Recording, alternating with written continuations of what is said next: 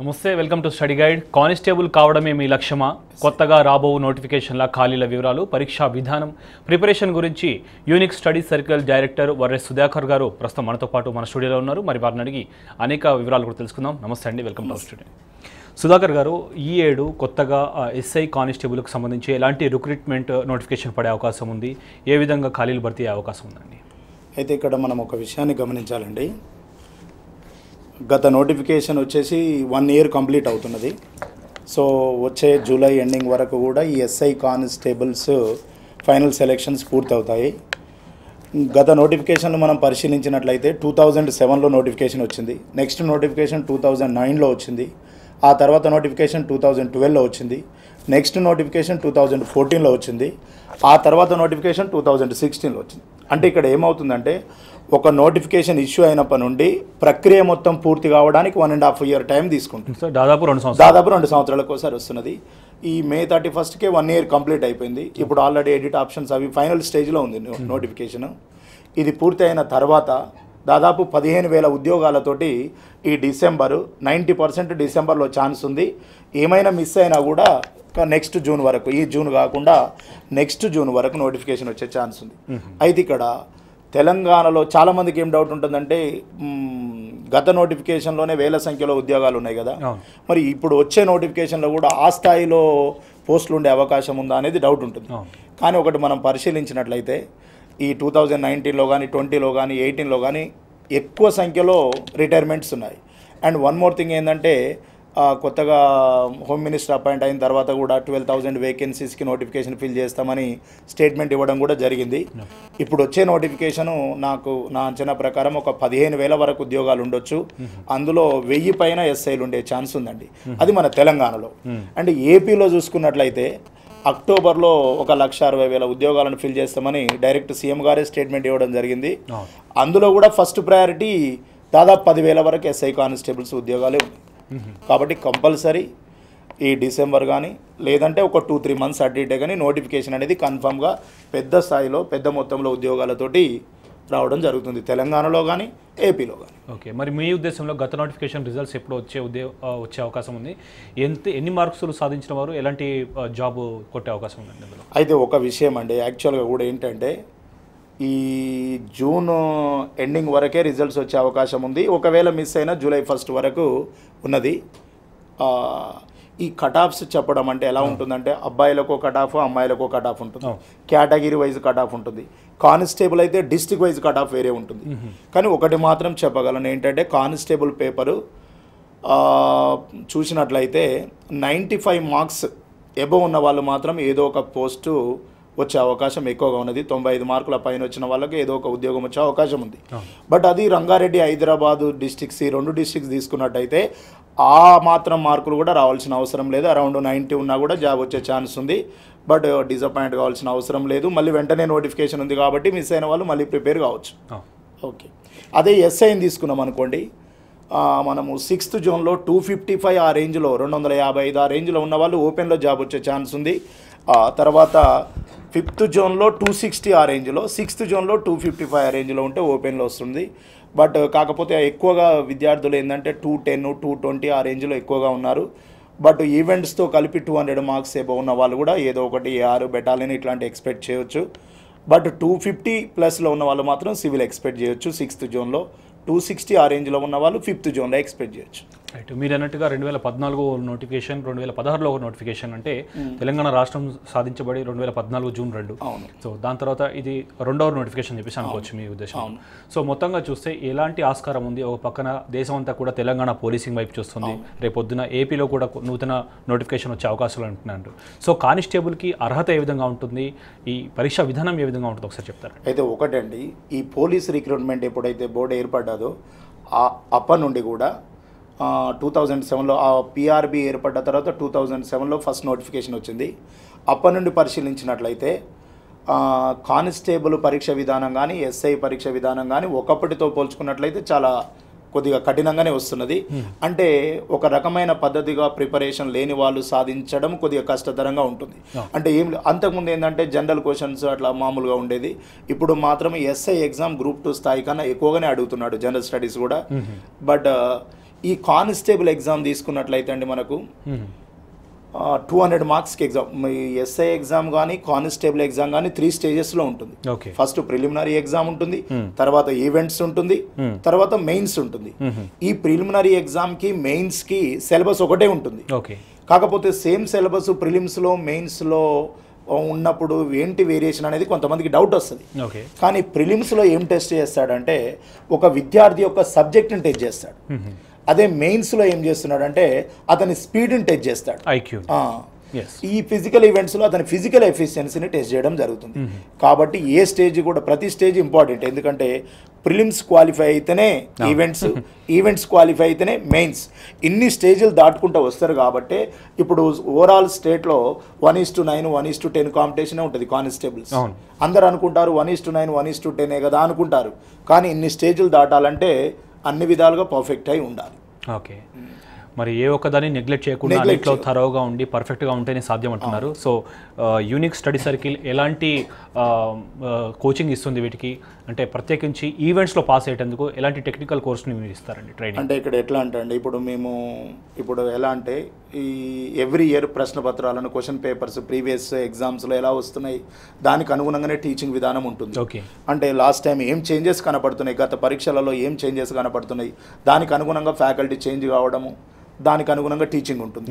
ఇప్పుడు ప్రతి విద్యార్థికి బాయ్స్కి చూసుకున్నట్లయితే ఎయిట్ హండ్రెడ్ మీటర్ స్టాఫ్ ఉంటుంది. ఓకే గర్ల్స్కి అయితే హండ్రెడ్ మీటర్ స్టాఫ్ ఉంటుంది. ఏ సెక్టార్లో స్టూడెంట్ వీక్ ఉండ అనేది వన్ టూ డేస్లోనే గ్రౌండ్కి వెళ్ళగానే తెలిసిపోతుంది.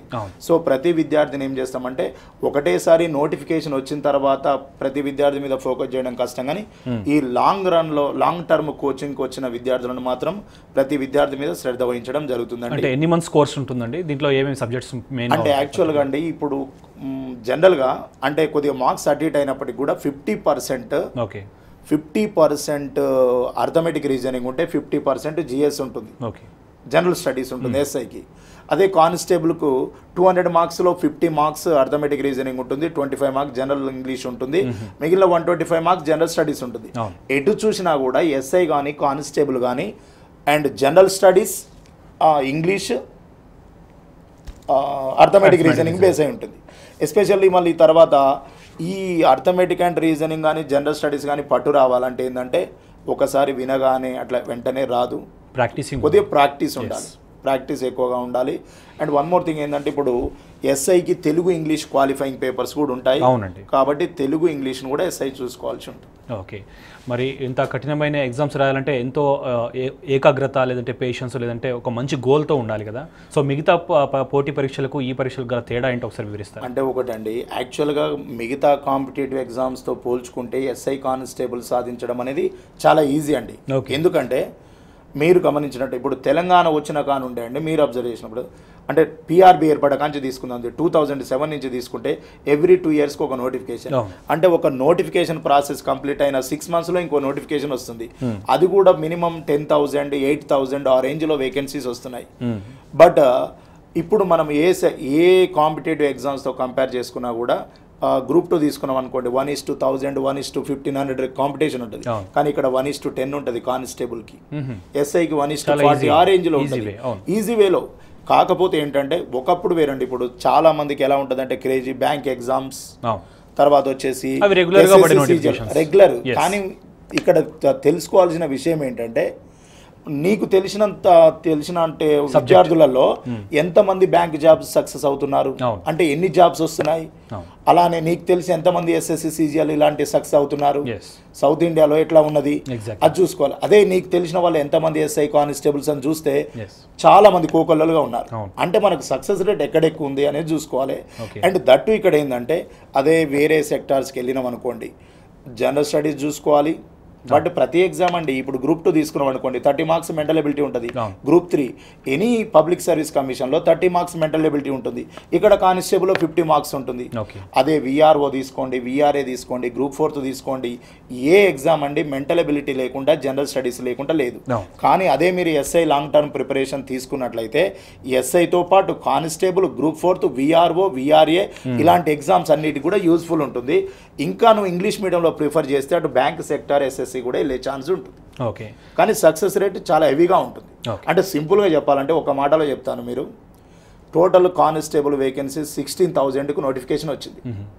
లాస్ట్ నోటిఫికేషన్ మా ఒక్క ఇన్స్టిట్యూట్ నుంచి దాదాపు నేను పదివేల మందిని ఎక్స్పెక్ట్ చేస్తున్న జాబ్స్ ఓన్లీ కానిస్టేబుల్ గ్రేట్ అంటే ఇక చూడండి సక్సెస్ రేట్ ఎలా ఉంది. అంటే ఏమీ లేదు కాకపోతే కొద్దిగా ఫిజికల్గా ఫిట్ ఉండి పద్ధతిగా కొంచెం ఆర్థమెటిక్ రీజనింగ్ జాగ్రత్తగా చేసేసుకొని. జనరల్ స్టడీస్ కొద్దిగా జాగ్రత్త ప్రాక్టీస్ చేసుకొని. ప్రిలిమ్స్ క్వాలిఫై అయిన తర్వాత దా ఫాలో వారీగా ఎందుకంటే ఇది టూ త్రీ మంత్స్లోనే అయిపోయే ప్రాసెస్ కాదు స్టార్టింగ్ నుంచి ఎండింగ్ వరకు వన్ ఇయర్ ప్రాసెస్ ఉంటుంది కాబట్టి ఏదో ఒక స్టేజ్లో కవర్ చేసుకోవచ్చు. రైట్ మీరు అన్నట్టుగా ముఖ్యంగా ఫిజికల్ ఈవెంట్స్పై ఎలాంటి శ్రద్ధ వహించాల్సిన అవసరం ఉందంటారు? లేదంటే మీ దగ్గర ఉన్నటువంటి అంటే షార్ట్ టర్మ్ బ్యాచెస్ కావచ్చు లాంగ్ టర్మ్ బ్యాచెస్ కావచ్చు వీటికి గల తేడా ఒకసారి చూపుతారు. అంటే నేను అనేది ఏంటంటే అండి షార్ట్ టర్మ్ బ్యాచెస్కి లాంగ్ టర్మ్ బ్యాచెస్కి ఏంటి డిఫరెన్స్ అంటే షార్ట్ టర్మ్ బ్యాచెస్ వాళ్ళైనా లాంగ్ టర్మ్ బ్యాచెస్ వాళ్ళైనా నాన్ మ్యాథ్స్ వాళ్ళైనా మ్యాథ్స్ వాళ్ళైనా రాసేది ఒకటే ఎగ్జామ్ ఓకే అందరికీ సేమ్ ఇప్పుడు ఎలా ఉంటుందంటే ఇప్పుడు ఎస్ఐలో two hundred marks mental ability paper ఉంటుంది. దాన్ని వన్ ఎయిటీ వన్ ఎయిటీ మినిట్స్లో చేయాలి. రెండు వందల మార్కుల మెంటల్ అబిలిటీ పేపర్ 180 నూట minutes in ఎనభై the sense నిమిషాలు three hours. చేయాలి. లో. బబుల్స్ ఫిల్ చేయడానికి ఒక ట్వంటీ మినిట్స్ పోద్ది. అంటే వన్ ఎయిటీ క్వశ్చన్స్ని వన్ సిక్స్టీ మినిట్స్లో చేయాలి. ఈ షార్ట్ టర్మ్లో కొంతమంది చాలా మంది ఏం చేస్తారంటే నోటిఫికేషన్ వచ్చిన తర్వాత వస్తారు. ఇంకా కొంతమంది ప్రిలిమ్స్ అయిపోయిన తర్వాత వస్తారు. ఈవెంట్ పాస్ అయిన తర్వాత వస్తారు. అంటే వాళ్ళు ఏంటంటే అనవసరంగా ఈ ఈవెంట్ రాకపోతే మనం ఫీజు కట్టింది వేస్ట్ అవుతుంది. అట్లని కూడా ఆలోచించుకునే ఆర్థిక స్తోమతను బట్టి అలా ఆలోచించే వాళ్ళు ఉంటారు. కానీ నేను ఏమంటున్నానంటే ఆఫ్టర్ ఈవెంట్ త్రీ మంత్స్ ఉంటుందండి. మినిమం సిలబస్ వినడానికే త్రీ అండ్ హాఫ్ మంత్స్ పడుతుంది. అది మార్నింగ్ టు ఈవినింగ్ క్లాసెస్ చెప్పినా వాళ్ళు చదువుకున్నా కూడా. అంటే ఒకసారి నువ్వు సిలబస్ కంప్లీట్ చేయడానికి it will takes minimum four four months. అలాంటిది నీకు ఎగ్జామ్ త్రీ అండ్ హాఫ్ మంత్స్లో ఉంటే సాధ్యం కాదు. ఈ లాంగ్ టర్మ్ బ్యాచెస్కి షార్ట్ టర్మ్ బ్యాచెస్కి సబ్జెక్ట్లో ఏం తేడా ఉండదు. కాకపోతే షార్ట్ టర్మ్ బ్యాచెస్ ఏంటంటే అప్పుడే వినాలి వెంటనే ఎగ్జామ్ రాయాలి. ప్రిపేర్ అదే లాంగ్ టర్మ్ వాళ్ళకు ఉన్నటువంటి ఫెసిలిటీ ఏంటంటే వాళ్ళు ఫస్ట్ నీట్గా చాప్టర్ వైజ్ ఎగ్జామ్స్ రాయడము. ఒక ఒక టాపిక్ ఏదైనా చేసుకుని దాని మీద ఏమైనా డౌట్స్ ఉంటే మళ్ళీ రివిజన్ క్లాస్. వినడము. సపోజ్ ఏదన్నా ఇప్పుడు తెలంగాణ మూమెంట్ ఉంది దాని క్లాస్ విన్నారు. దానికి సంబంధించి మార్కెట్లో ఇంకో బుక్ తీసుకొని ప్రిపేర్ కావడం. ఇప్పుడు క్లాస్లో చెప్పినది కాకుండా ఇంకా రెఫరెన్స్ బుక్ చదవడం ఇంత టైం ఉంటుంది. ఈ టైప్ ఆఫ్ ప్రిపరేషన్ తర్వాత ఏమవుతుందంటే వీళ్ళు ఎగ్జామ్ అటెంప్ట్ చేసే విధానం మారిపోతుంది. ఎగ్జామ్ అటెంప్ట్ చేయడం. ఇప్పుడు చాలా వరకు అండి ఫోర్ హండ్రెడ్ మార్క్స్కి SI exam two hundred marks maths two hundred marks GS ఇలా టూ సిక్స్టీ నుంచి టూ సెవెంటీ మధ్యలో టూ సెవెంటీ నుంచి టూ ఎయిటీ మధ్యలో ఉన్న వాళ్ళు చాలా తక్కువనే ఉన్నారు. అంటే టూ ఎయిటీ ప్లస్లో తక్కువ మంది కనపడుతున్నారు ఫోర్ హండ్రెడ్ మార్క్స్కి టూ ఎయిటీ ప్లస్ తక్కువ మంది కనపడుతున్నారు. ఎందుకంటే తెలుసు క్వశ్చన్స్. ఎస్ కానీ ఇన్ టైంలో చేయలేరు. ఓకే ఇన్ టైంలో చేయాలంటే సబ్జెక్ట్తో పాటు ఏముండాలి? ప్రాక్టీస్. ఎస్ సుధాకర్ గారు చెప్పండి. ఈ ఎస్ఐ కానిస్టేబుల్ ఎగ్జామ్స్కి అంటే ఫిజికల్ స్ట్రెంగ్త్తో పాటు మెంటల్ ఎబిలిటీ కూడా చాలా ఇంపార్టెంట్ రోల్ ప్లే చేస్తుంది కదా. సో ఈ మెంటల్ ఎబిలిటీపై పట్టు సాధించడం అంటే ఎలా అండి? ఇప్పుడు నేను ఇంతకుముందు చెప్పినట్టు అండి ప్రతి కాంపిటేటివ్ ఎగ్జామ్లో మెంటల్ ఎబిలిటీ పార్ట్ ఉంటుంది. బట్ చాలామంది ఏంటంటే జనరల్గా మెంటల్ ఎబిలిటీ అంటే మ్యాథమెటిక్స్ అనుకుంటారు. నాన్ మ్యాథ్స్ విద్యార్థులు కూడా ఏమనుకుంటారంటే మాది మ్యాథ్స్ బ్యాక్గ్రౌండ్ కాదు కదా మేము మ్యాథ్స్ వాళ్ళతో ఎలా పోటీ పడగలుగుతామని. ఈ మెంటల్ ఎబిలిటీ అనేది డిఫరెంట్ సబ్జెక్ట్స్ అండి. మేధావులు కాంపిటేటివ్ ఎగ్జామ్లో పెట్టిరంటే ఏంటంటే అందరికీ యూజ్ఫుల్ ఉండేదే పెడతారు అంటే కాకపోతే ఇక్కడ ఏంటంటే నేను క్లాసులలో కూడా అబ్జర్వ్ చేస్తాను బీఏ వాళ్ళను బీకామ్ వాళ్ళను బీటెక్ వాళ్ళను ఎంఎస్సి మ్యాథమెటిక్స్ వాళ్ళను. కొంతమంది కాలేజీలలో కార్పొరేట్ కాలేజీలో చెప్పే వాళ్ళు కూడా వస్తారు కోచింగ్. ఇక్కడ గమనించాల్సింది ఏంటంటే అండి ఈ అర్థమెటిక్ పార్ట్ తీసుకున్నట్లయితే కొన్ని టాపిక్స్ ఉంటాయి. ఒక ట్వంటీ టాపిక్స్ సగటు శాతాలు ఇట్లా కొన్ని టాపిక్స్ ఉంటాయి. ఈ టాపిక్స్ ఏ టాపిక్లోనైనా కొన్ని కొన్ని పరిధి ఉంటుంది కొన్ని కాన్సెప్ట్స్ ఉంటుంది. క్లాస్ చెప్పేటప్పుడు కానీ లేదా క్లాస్ కోచింగ్ తీసుకోలేని స్తోమత ఉన్న- ఉన్నప్పుడు మార్కెట్లో ఏదైనా స్టాండర్డ్ బుక్ తీసుకొని ఆ చాప్టర్లో ఉన్నటువంటి మెయిన్ కాన్సెప్ట్స్ ఏంటి? అసలు వాటి మీద క్వశ్చనింగ్ ఎలా కాంపిటేటివ్ ఎగ్జామ్స్లో ఎలా వస్తుంది? ఇప్పుడు previous SI constable question framing ఎలా ఉంది? మనం ఎలా చేస్తే ఆ సబ్జెక్ట్లో ఉన్న ఆ- క్వశ్చన్ పేపర్స్ని మనం డీల్ చేయగలమనేది చూసుకోవాలి. దట్ ఫస్ట్ స్టేజ్ అండి. అంటే క్వశ్చన్స్ని అర్థం చేసుకోవడం కాన్సెప్ట్స్ని అర్థం చేసుకోవడము సబ్జెక్ట్ మీద పట్టు సాధించడం అనేది ఫస్ట్ స్టేజ్ ఓకే కానీ నెంబర్ ఆఫ్ టైమ్స్ ఎన్నిసార్లు ఎక్కువ ప్రాక్టీస్ చేస్తే అంత తక్కువ టైంలో క్వశ్చన్ చేయడానికి ఛాన్సెస్ ఉంటాయి. కాబట్టి కానిస్టేబుల్ వాళ్ళకు కొద్దిగా టైమింగ్ అటు ఇటు అయిన ప్రాబ్లం లేదు. కానీ ఎస్ఐ వాళ్ళకు మాత్రము ఖచ్చితంగా నెంబర్ ఆఫ్ టైమ్స్ ప్రాక్టీస్ చేసే టైం ఉండాలి. అది లాంగ్ టర్మ్ తోటి సాధ్యమైంది. ఇంకోటి కూడా చెప్పాలంటండి నోటిఫికేషన్ వచ్చిన తర్వాత ప్రిలిమ్స్ అయిపోయిన తర్వాత లేదా ఈవెంట్స్ అయిపోయిన తర్వాత ఎస్ఐ కోచింగ్కి వచ్చే పిల్లల్లో అప్పుడే అంటే లాస్ట్ నోటిఫికేషన్ మిస్ అయిన వాళ్ళైతే సక్సెస్ అవుతున్నారు. అవును. కానీ అప్పుడే ఫస్ట్ టైం కోచింగ్ వచ్చే వాళ్ళు ఎప్పుడు కూడా ఆఫ్టర్ ఈవెంట్ కోచింగ్ వచ్చిన వాళ్ళు కానిస్టేబుల్ జాబ్ కొడుతున్నారు కానీ ఎస్ఐ కొద్దిగా కష్టం అవుతుంది. ఎందుకంటే general studies two hundred marks arithmetic reasoning two hundred marks కాబట్టి ఈ మెంటల్ ఎబిలిటీ గురించి భయపడాల్సిన అవసరం లేదండి. కాన్సెప్ట్స్ అర్థం చేసుకొని జాగ్రత్తగా ఒక పద్ధతి ప్రకారం ప్రాక్టీస్ చేసి తక్కువ మెటీరియల్ని ఎక్కువ సార్ చేయాలి. రైట్ చేసినప్పుడల్లా ఒక్కొక్క బుక్ కాకుండా అన్ని కాన్సెప్ట్ల మీద పర్ఫెక్ట్గా కమాండింగ్ వచ్చినప్పుడు నెంబర్ ఆఫ్ బుక్స్ రిఫర్ చేయడంలో తప్పులేదు కానీ స్టార్టింగ్ స్టేజ్లో మాత్రం ఒక పర్టికులర్ మెటీరియల్ని ఎక్కువ సార్ చేయాలి. దానివల్ల ఏమవుతుందంటే గుర్తుండే ఛాన్స్ ఎక్కువగా ఉంటుంది. ఓకే. చాలా మంది విద్యార్థులు మనం చూస్తూ ఉంటామంటే ఏదైనా కోర్సులో వాళ్ళు జాయిన్ అయితే జనరల్గా పుస్తకాలని తిరగదోడుతూ ఉంటారు. సో జనరల్ స్టడీస్ పైన జనరల్ నాలెడ్జ్ పైన వాళ్ళకు చాలా ఇంపాక్ట్ తక్కువగా ఉంటుంది. సో ఈ ఎస్ఏ అండ్ కానిస్టేబుల్ ఏదైతే ఎగ్జామ్స్కి ప్రిపేర్ అవ్వాలనుకున్నో చుట్టూ జరిగే సంఘటనల పైన లేదంటే జనరల్ స్టడీస్ పైన ఎలాంటి అవగాహన ఉండాల్సిన అవసరం ఉందంటారు? ఇప్పుడండి ఓపెన్గా చెప్పాలంటే general studies paper SI paper అది తెలంగాణలో కానీ ఏపీలో కానీ గ్రూప్ టూ స్థాయి కన్నా ఎక్కువనే వస్తుంది. కాకపోతే ఇక్కడ విషయం ఏంటంటే ఏదొచ్చినా కూడా అందరూ ఎస్ఐ ఎగ్జామ్ ప్రిపేర్ అవుతున్నటువంటి విద్యార్థులంతా కూడా. ఒకే టైప్ ఆఫ్ నాలెడ్జ్ ఉంటుంది కొంతమంది ఎక్కువ ఉంటుంది కొంతమంది తక్కువ ఉంటుంది. మనం ఎప్పుడు కూడా టూ హండ్రెడ్ మార్క్స్ పేపర్లో వన్ ఎయిటీ వన్ నైంటీ చేయాలని అనుకోవడం సాధ్యం కాదు. ఇప్పుడు గత లాస్ట్ టైం జరిగిన ఎస్ఐ పేపర్లో వన్ ఫార్టీ మార్క్స్ చేసిన విద్యార్థి మంచి స్కోర్ చేసినట్టే జనరల్ స్టడీస్లో. అవుట్ ఆఫ్ టూ హండ్రెడ్ కొంతమందికి కాంపిటే ఈ ఎగ్జామ్తో టచ్ లేని వాళ్ళకు టూ హండ్రెడ్కి వన్ ఫార్టీ అంటే తక్కువనే కదా అనిపిస్తుంది. కానీ క్వశ్చనింగ్ ఏంటంటే ఒక క్వశ్చన్ చదవడానికి వన్ మినిట్ టైం తీసుకునేటటువంటి. అలాంటి క్వశ్చన్స్ కూడా అంత Yes. లెంతీ క్వశ్చన్స్ కూడా ఇవ్వడం జరుగుతుంది. ఎప్పుడైనా మనం ఆలోచించాల్సింది ఏంటంటే ఈ జాబ్ రావాలంటే ఎంత స్కోర్ కావాలి? దాన్ని ఎలా సాధించాలి? మినిమం అండి ఎస్ఐ జాబ్ రావాలంటే ఒకటే.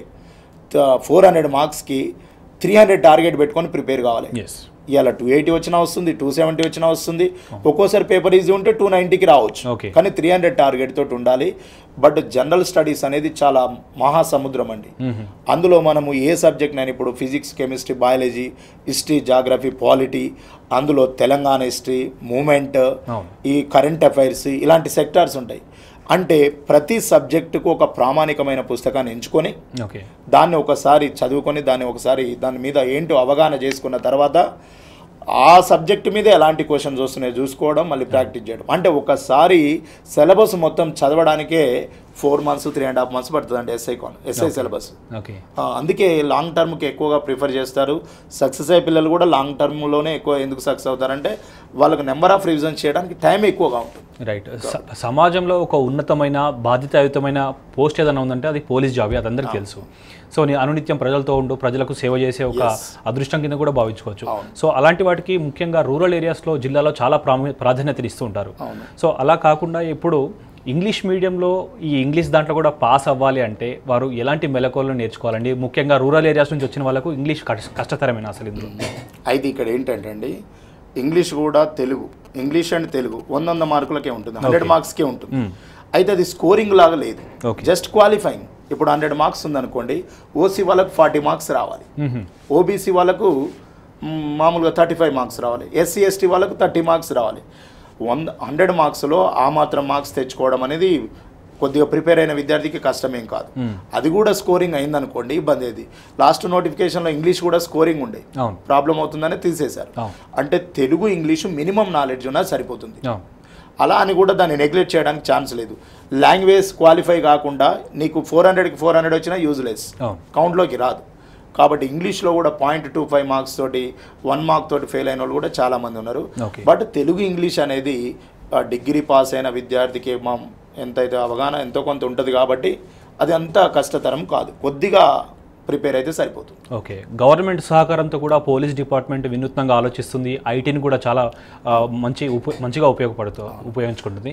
ఈ నేపథ్యంలో కంట్రోల్ కమాండ్ సిస్టమ్ కావచ్చు లేదంటే షీ టీమ్స్ కావచ్చు. గర్ల్స్ కూడా ఇంతకు ముందు కన్నా ఈ మధ్య కాలంలో పోలీస్ రిక్రూట్మెంట్లో జాయిన్ అవ్వాలని ఎక్కువ ఉత్సుకత చూపిస్తున్నారు.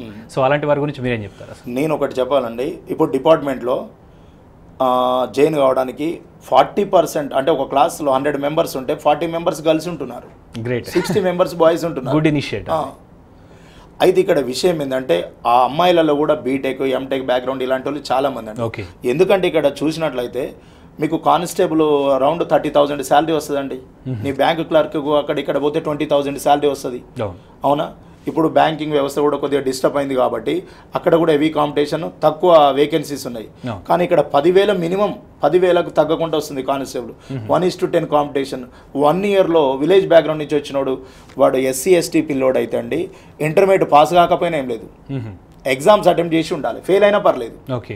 అదే ఎస్ఐకి అయితే డిగ్రీ పాస్ కావాల్సిన అవసరం లేదు. ఎగ్జామ్స్ అటెంప్ట్ చేసి ఉండాలి ఫెయిల్ అయినా ఏం లేదు. ఎస్ఐకి అరౌండ్ ఫిఫ్టీ థౌసండ్ శాలరీ కొద్దిగా అటు ఇటుగా. కానిస్టేబుల్కి థర్టీ థౌసండ్ శాలరీస్. ఇప్పుడు తెలంగాణ పోలీసింగ్ దేశ కంట్రీలోనే మొత్తం నెంబర్ వన్ పొజిషన్లో ఉంది. ఒక రకంగా రాష్ట్ర భవిష్యత్తు పోలీస్ డిపార్ట్మెంట్ మీద డిపెండ్ అయిందన్న పరిస్థితి ఆ రేంజ్లో ఉన్నది. ఏదైనా కూడా ఎలాంటి నేరాలు ఇప్పుడు నేరాలు విచిత్రమైన నేరాలు పెరిగిపోతున్నాయి. దానికి తగ్గట్టు సిలబస్ పెడుతున్నారు. దానికి తగ్గట్టు తీసుకుంటున్నారు. వర్త్ఫుల్ క్యాండిడేట్స్నే డిపార్ట్మెంట్లోకి ఎంకరేజ్ చేస్తున్నారు. ఇంకా ఈ కోచింగ్సే కాకుండా గవర్నమెంట్ కూడా ఫ్రీగా కూడా కొన్ని కోచింగ్స్ ఇస్తున్నది ఎందుకంటే ఎంకరేజ్ చేస్తున్నారు. కానీ ఒకప్పుడు పరిస్థితి వేరండి. ఇప్పుడు డిపార్ట్మెంట్లోకి రావడానికి చాలా ఇంట్రెస్ట్ చూపిస్తున్నారు. చాలా అంటే చాలా ఇంట్రెస్ట్ చూపిస్తున్నారు. వాళ్ళ వ్యాప్ జాబ్ స్టైల్ కూడా అలానే ఉన్నది. ఇప్పుడు ఎలా ఉందంటే ఎస్ఐకి మామూలుగా సాఫ్ట్వేర్ స్టైల్ అయిపోయింది. కాకపోతే కొన్ని కొన్ని రూరల్ ఏరియాస్లో కొద్దిగా ఇబ్బంది ఉండొచ్చు అటు ఇటుగా. ఓకే. కానీ పబ్లిక్ రిలేషన్ జాబ్ కాబట్టి ఎక్కువగా ఛాలెంజింగ్గా తీసుకొని యూత్ ఎక్కువగా దీనికి ఇంట్రెస్ట్ చూపిస్తున్నారు. ప్రతి నోటిఫికేషన్లో కూడా మీరు మీ యూనిక్ స్టడీ సర్కిల్ తరఫు నుంచి అనేక మంది విద్యార్థులను ప్రయోజకులుగా తీర్చిదిద్ది అనేక స్థానాల్లో ఉన్నతమైన స్థానాల్లో ఉంచారు కదా. సో మీ యూనిక్ స్టడీ సర్కిల్ ప్రత్యేకతలు ఏంటి? అదేవిధంగా ముఖ్యంగా చూసుకోవాలంటే లాంగ్ ఏదైతే బేస్డ్. కోచింగ్ ఉందో? దాని గురించి ఎలాంటి డౌట్స్ ఉంటాయి విద్యార్థులకు? మీరు ఎలాంటి క్లియరెన్స్ ఇస్తారు దానికి? ఒకటి ఏంటంటే అండి మా సంస్థకు ఉన్న ప్రత్యేకత ఏంటంటే నేను ట్వంటీ ఫోర్ అవర్స్ కాకపోయినా కూడా మార్నింగ్ టు ఈవినింగ్ వరకు నేను ఇన్స్టిట్యూట్లోనే ఉంటానండి. అండ్ టోటల్ ఎస్ఐలో ఫోర్ హండ్రెడ్ మార్క్స్లో టూ హండ్రెడ్ మార్క్స్ సిలబస్ నేనే తీసుకుంటాను. Total arithmetic and reasoning part ఇంకోటి ఏంటంటే వాళ్ళకు వాస్తవం అనేది చెప్తాను ఇప్పుడు మీకు వచ్చేస్తే జాబు ఇంత ఈజీ అట్లా కాకుండా వాస్తవం ఇది. పరిస్థితి ఇది. మీరు ముందు అలర్ట్ కావాలి. జాగ్రత్తగా ప్రాక్టీస్ చేసుకోవాలి. ఒక నోటిఫికేషన్ లాస్ అయితే మీకు ఆటోమేటిక్గా టూ ఇయర్స్ లాస్ అయింది కాబట్టి నెక్స్ట్ నోటిఫికేషన్ వరకు మీ బాడీ సపోర్ట్ చేయొచ్చు చేయకపోవచ్చు. ఈవెంట్స్కి ఫిజికల్ ఈవెంట్స్కి ఎగ్జాక్ట్లీ మీరు వస్తున్న జనరేషన్ తోటి మీరు కాంపిటీషన్లో తట్టుకోగల ఇప్పుడు వస్తున్నారండి ఇంటర్మీడియట్ పిల్లలు కానీ జనరేషన్ గ్యాప్ ఉంటుంది. కాబట్టి అన్ని విధాలుగా ఒకటే నోటిఫికేషన్ గన్ షాట్గా మ్యాక్సిమం ఎస్ఐ టార్గెట్ పెట్టుకొని ప్రిపేర్ కావాలి. ఇన్ కేస్ మిస్ అయినా కానిస్టేబుల్ అన్న రావాలి కానీ వితౌట్ జాబ్ పోవద్దు అనేది నేను మొదటి నుంచి చెప్తాను. బట్ మేము ఏం చేస్తామంటే ఇప్పుడు ఒక టాపిక్ అర్థమెటిక్లో కానీ రీజనింగ్లో కానీ చెప్పిన తర్వాత జనరల్ స్టడీస్లో కానీ చెప్పిన తర్వాత ఎవ్రీ సండే గ్రాండ్ టెస్ట్ పెడతామండి. ఓకే. Every Sunday. అంటే ఎవ్రీ సండే గ్రాండ్ టెస్ట్ పెట్టి ఫైనల్ ఎగ్జామ్ లాగా ఓఎంఆర్ షీట్ మీద కరెక్షన్ చేసేసి వాళ్ళకి ఎన్ని మార్క్స్ వస్తున్నాయో లిస్ట్ అవుట్ చేస్తాం. ఓకే. దానివలన ఏమవుతుందంటే విద్యార్థికి ఈ వా ఈ వీక్లో విన్న క్లాసెస్ ద్వారా ఎగ్జామ్ రాయడం వలన మొత్తం విద్యార్థులలో అతని పొజిషన్ ఏందో తెలుస్తుంది. పోటీతత్వం పెరుగుతుంది కూడా. పోటీతత్వం పెరుగుతుంది. ఎక్కడ వీక్ ఉందో తెలుస్తుంది. ఎక్కడ స్ట్రాంగ్ ఉందో తెలుస్తుంది.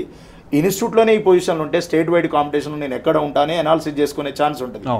ఎందుకంటే అది పర్టికులర్గా మెంటల్ అబిలిటీ బేస్డ్ ఎగ్జామ్ అయినప్పుడు మనం మోడల్ ఎగ్జామ్స్ అనేది హెవీగా కండక్ట్ చేయనట్లయితే అక్కడ ఫైనల్ ఎగ్జామ్లో పోయేసి సబ్జెక్ట్ తెలిసినా కూడా పేపర్ అటెంప్ట్ చేసే దాంట్లో వెనకకి వెళ్ళిపోయే ఛాన్స్ ఉంటుంది. కాబట్టి ఎక్కువగా ఎక్కువగా ఏంటంటే ఎగ్జామ్స్ ఎక్కువ ఫోకస్ చేయడం కరెక్ట్ సిలబస్ చెప్పడం వాస్తవం ఏందో విద్యార్థులకు వివరించడం వస్తున్న అంటే ప్యాటర్న్ ఎలా చేంజ్ అవుతుందో సబ్జెక్ట్ ఎలాంటి క్వశ్చనింగ్ అడుగుతున్నాడో అదే వేలో టీచింగ్ చేయడమే మా ఇన్స్టిట్యూట్ ప్రత్యేకత. ఓకే. మరి ఎలాంటి ఏజ్ గ్రూప్ వాళ్ళు ఈ ఎస్ఐ లేదా కానిస్టేబుల్ ఎగ్జామ్స్కి అర్హులు అంటారు ఓకే అండి. కానిస్టేబుల్కి అయితే ఇంటర్మీడియట్ క్వాలిఫికేషన్ ఉండాలండి. ఎస్సీ ఎస్టీ వాళ్ళకి ఇంతకుముందు చెప్పినట్టు ఫెయిల్ అయినా పర్లేదు కానీ ఎగ్జామ్స్ అటెంప్ట్ చేసి ఉండాలి. మామూలుగా eighteen to eighteen years minimum age ఉంటుంది. బట్ ట్వంటీ టూ ఇయర్స్ వరకు తీసుకుంటారు వాళ్ళకు. మళ్ళీ ఇప్పుడు ఏజ్ రిలాక్సేషన్ కూడా త్రీ ఇయర్స్ ఇచ్చారు. బట్ కానిస్టేబుల్కు అలా ఉంటుంది. ఎస్ఐకి కూడా మినిమం ట్వంటీ వన్ ఇయర్స్ ఉంటుంది. బట్ ఓబీసీలో థర్టీ ఇయర్స్ వరకు ఉంటుంది. ఓసీ వాళ్ళు ట్వంటీ ఫైవ్ ఇయర్స్ వరకు ఉంటుంది. వాళ్ళకు కూడా ఏజ్ రిలాక్సేషన్ త్రీ ఇయర్స్ ఉంటుంది. బట్ దాంట్లో మనకు దాని క్వాలిఫికేషన్ తర్వాత ఎగ్జామ్ ప్యాటర్న్ ఇవన్నీ తెలుసుకున్నట్టయితే పిఆర్బి సైడ్లోకి తెలంగాణ పబ్లిక్ సర్వీస్ అది పోలీస్ రిక్రూట్మెంట్ బోర్డు సైడ్లో చూసినట్లయినా కూడా తెలిసిపోతుందండి. బట్ మినిమం ఇంటర్ తోటి కానిస్టేబుల్ ఓకే. డిగ్రీ తోటి ఎస్ఐ. రైట్ బట్ దాంట్లో పర్సంటేజ్ కూడా అవసరం లేదు. ఓకే. జస్ట్ పాస్ అయితే చాలు. ఓకే. పలు దఫాలుగా వస్తున్నటువంటి నోటిఫికేషన్లకు మీరు విద్యార్థులను తీర్చిదిద్దుతున్నారు కదా. మరి ఈసారి అంటే అటు ఏపీలో కావచ్చు ఇటు తెలంగాణలో కావచ్చు రిక్రూట్మెంట్ ఏ విధంగా ఉండబోయే ఛాన్సెస్ ఉన్నాయంటారు? మీరు ఎలాంటి సోర్సెస్ని క్రియేట్ చేస్తున్నారు అసలు. ఒకటి ఏంటంటే అండి జనరల్గా డిగ్రీ బీటెక్ ఎంటెక్ వీళ్ళంతా కూడా వస్తున్నారు. కానీ కొంతమంది విద్యార్థులలో ఇప్పుడు మనం మ్యాక్సిమం చూస్తే సబ్జెక్ట్ ఎక్కువ ఉన్న పిల్లోడు ఈవెంట్ నెగ్లెక్ట్ చేస్తున్నాడు. అవును. ఏదో ఒకటి ఏదో ఒక అంటే కొంచెం సబ్జెక్ట్ మ్యాథ్స్ వచ్చిన అభ్యర్థి ఏం చేస్తాడంటే జిఎస్ నెగ్లెక్ట్ చేస్తాడు. ఓకే. జిఎస్ వచ్చిన అభ్యర్థి ఏంటంటే నాకు జిఎస్ వచ్చి కానీ మ్యాథ్స్ నెగ్లెక్ట్ చేస్తాడు. ఈ రెండు వచ్చిన అబ్బాయి అమ్మాయి కానీ అబ్బాయి కానీ ఈవెంట్ నెగ్లెక్ట్ చేసే ఛాన్స్ ఉంటుంది. అంటే నేను ఏమంటున్నానంటే ఎందులో ఇంత హై లెవెల్లో ప్రిపేర్ కావాల్సిన అవసరం లేదండి. జనరల్ స్టడీస్ పేపర్ కానీ మ్యాథ్స్ పేపర్ కానీ ఈవెంట్ని కానీ ఈ మూడింటిని సమతుల్యత చేస్తూ ఒక పద్ధతిగా యావరేజ్ ఆర్ ఎబో యావరేజ్ అన్నిటి సెక్టార్లలో ఒక రకమైన నాలెడ్జ్ ఉంటే మాత్రం ఖచ్చితంగా సక్సెస్ రైట్ పర్ఫెక్ట్ ట్రైనింగ్ అయితే మీరు ఇస్తా అంటున్నారు. మరి దూరం నుంచి వచ్చే విద్యార్థులకు అంటే హాస్టల్ ఫెసిలిటీ కావచ్చు లేదంటే మీరు మీ బ్రాంచ్ కున్న ప్రత్యేకతల గురించి ఒకసారి అంటే ఇప్పుడు ఏంటంటే ఇప్పుడు మా ఇన్స్టిట్యూట్కు రిలేటెడ్గా హాస్టల్స్ ఉంటాయి. ఓకే ప్రైవేట్ హాస్టల్స్ ఉంటాయి. సో ఏంటంటే మంత్లీ ఫీజు తీసుకొని అన్ని ప్రొవైడ్ చేస్తారు. మేము క్లాసెస్ ఉంటాయి. మార్నింగ్ టు ఈవినింగ్ క్లాసెస్ ఉంటాయి. ఇప్పుడు లాంగ్ టర్మ్ బ్యాచెస్ కాబట్టి హాఫ్ డే క్లాసెస్ ఉంటాయి.